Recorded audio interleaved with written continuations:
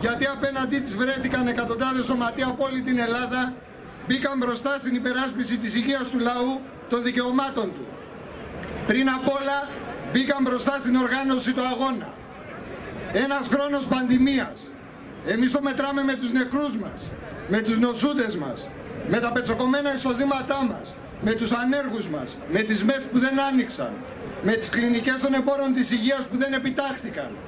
Η κυβέρνηση το μετράει με βάση τα αντιλαϊκά νομοσχέδια που φέρνει, τα κέρδη των επιχειρηματικών ομίλων, από τα πακέτα ενίσχυσης, τα ενίκια στις ιδιωτικές κλινικές, τις περικοπές στην υγεία και την παιδεία.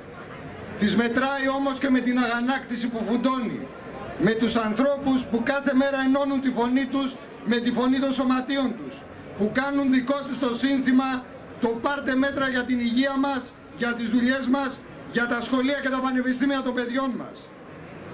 Γι' αυτό και έχουν σκυλιάσει και προσπαθούν από τη μία με τα ψέματα και από την άλλη με τα κλόπ να φοβήσουν το λαό, να μην σηκώνει κεφάλι.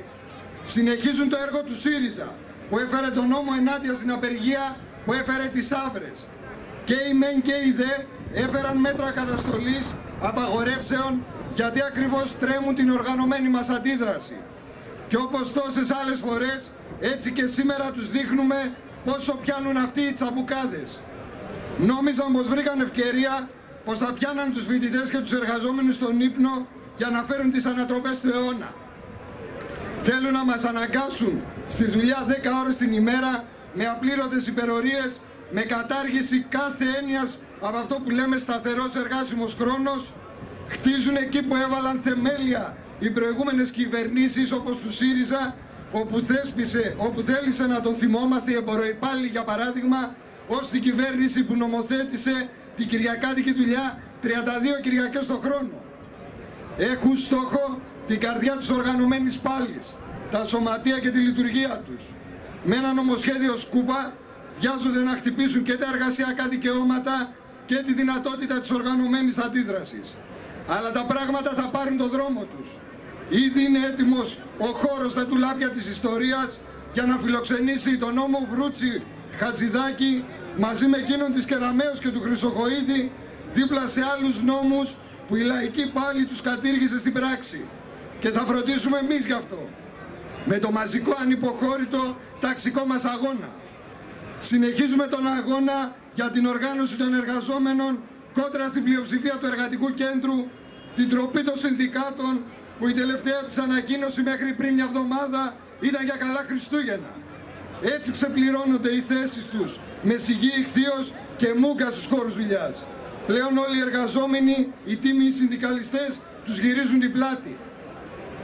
Ήδη αυτές τις μέρες εκατοντάδες μέλη των σωματείων ήρθαν σε επαφή με χίλιους δυο τρόπους με εργαζόμενους για να μάθουν για το σημερινό μας συλλαλητήριο για τα αιτήματά μας.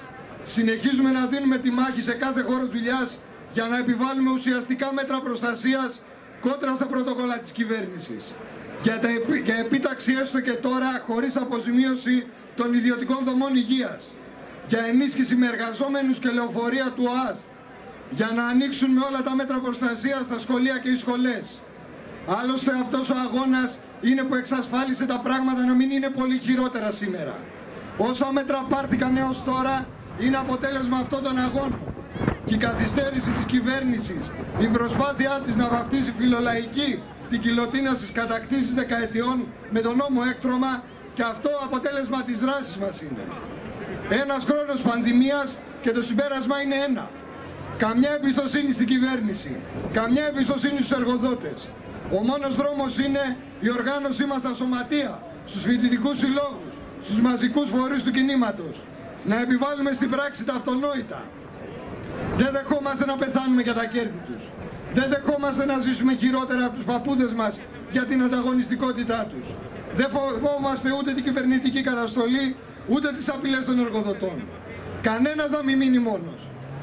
Απέναντι στην πανδημία, απέναντι στην κρίση που αυτοί προκάλεσαν. Οι εργάτες, οι φοιτητές, οι φτωχοί βιοπαλαιστές βάζουμε μπροστά τις δικές μας ανάγκες.